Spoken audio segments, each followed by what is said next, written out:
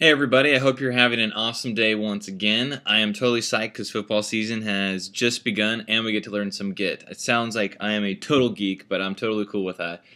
So last time on our video in part 0 we basically installed Git and we set up a repository on GitHub.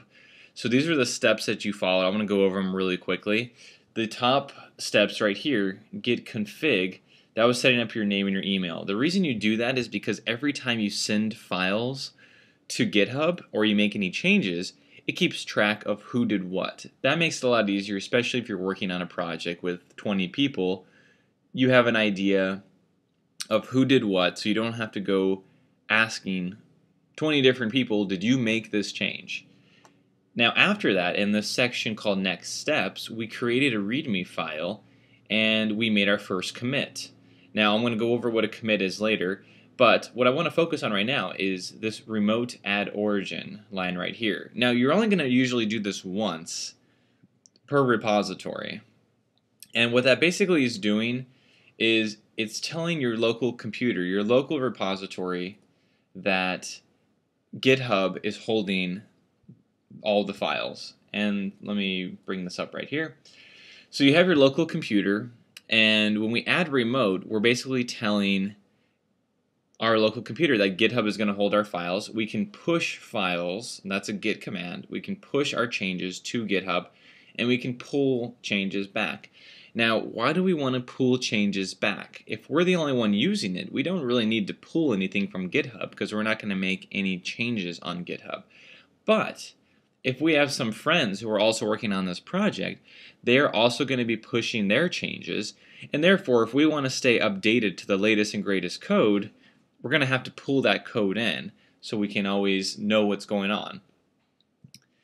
And that's pretty much all those steps right there. So what we're going to do right now is we're going to jump into the command line and I want to show you the one command you're probably going to use the most. It's the git status command. So if I type git status, it, it literally tells me what the status is. It's a pretty simple command. It tells me I'm on branch master. Don't worry about branching yet. And I have nothing to commit. Working directory is clean. Now, I want to show you what a commit is, but first, let's go ahead and edit that README file that we had at the beginning. So I'm going to use TextMate for this and I'm going to open up the README file and we have our blank README file. So I'm going to add one line in here. I want to say hello world because I'm completely unoriginal.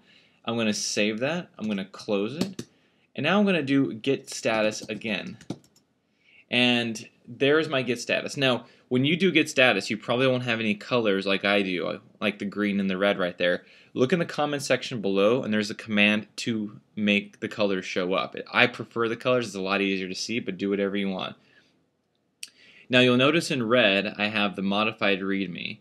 And the reason it's in red is because Git has noticed that I made a change, but I haven't told it really to record this change. I haven't told it that I'm okay with this change. So if I want to let it know I'm okay with it, I got to do git add readme. Press enter. I want to clear this out. Let's do another git status right here. And now it's in green. It, no it noticed that I made that change. So let's go ahead and really quickly change the file again. I want to say, how are you?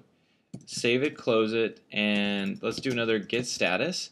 Now you can see I have two different copies. The green one, which just says hello world, and the red one, which says hello world, how are you? So I need to go ahead and add that again so I can tell Git that I want it to keep that latest and greatest.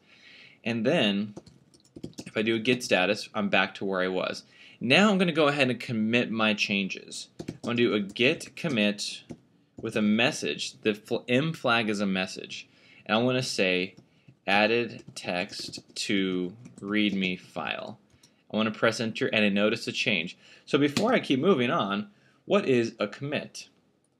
Now the best way I could think of describing it is it's essentially a save state. It takes a snapshot of your file directory as it is when you make the commit. It notice it knows all the changes and what files are in there. So the best way I could think of it is like a video game.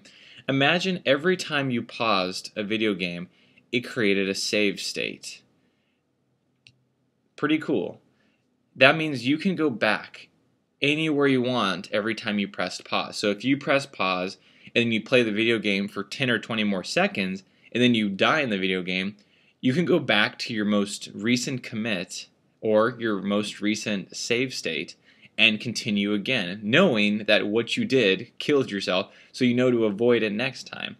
Now, the great thing about committing is you can make as many commits as you want. You can make 100 save states if you want before you send anything off to GitHub. It doesn't matter, and that's the beauty of it because if you mess something up, you can go back 50 save states.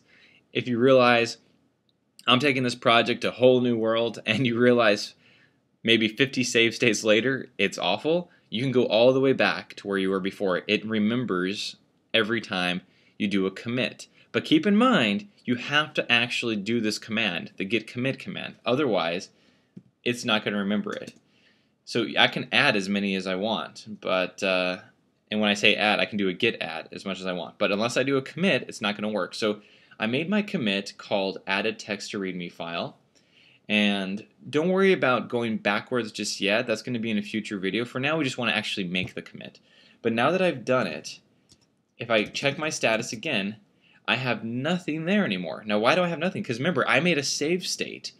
So my save state is already saved, and that's called a commit. So if you see the message right here, my branch is ahead by one save state or commit. That means I've made one save state that GitHub, my remote repository, does not have. So I need to send that save state to GitHub. And it's incredibly simple. I do a git push origin, whoops, origin master. And that will send my save states. Now, I want to be completely honest with you. You can just do git push, but it is highly recommended, and I highly recommend this personally, that you do git push origin master because you want to specify where you're pushing it because once you get more advanced in git you're going to be doing git push origin batch 1 or git push origin project B different stuff and if you keep doing just push you're going to push your files into the wrong place and you could really do some major damage so always specify where you're pushing for now origin master is perfect just leave it at that and that's pretty much it we push our file now if I do a git pull nothing's really going to happen because I haven't made any changes online. But let's go ahead and check out GitHub right now. And let's go to our Hello Git repository. And you'll notice I have right there, three minutes ago, added text to README file. And there's the README file right there. Hello world, how are you? And you see it's green right there. I just clicked it. Two green lines because I added those two. And it's pretty much that simple. And if I have any of my friends, like in this slide right here, if they do a pull, they're going to get that README file with the hello world, how are you text. It is just that easy. And we're going to go over merge conflicts and stuff in later videos, but just go ahead and play around with this, make some changes to some files, make some save states. Remember to add them because you want Git to keep track of it, but remember to add, remember to commit, and commit often, and then remember to push those files and then check GitHub and see it all in action. And that's pretty much it. In the next video, I think I'm going to, I have some notes right here. Let's see what I'm going to do next. In the next video, I think I'm going to be going over the git log, git show, uh, how to unstage files if you don't want to track them at all, and just checking out and a little bit of resetting. So resetting, like I mentioned, if we want to go back a couple of save states, I'll show you how to do that. And uh, you guys have an awesome day, and uh, I'll see you next video.